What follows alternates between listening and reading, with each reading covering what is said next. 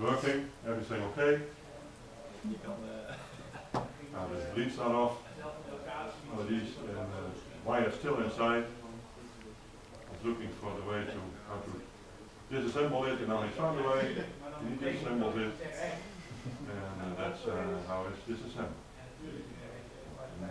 We don't, don't know if that's practical or always, but it's a way of, uh, doing that kind of uh, disassembly.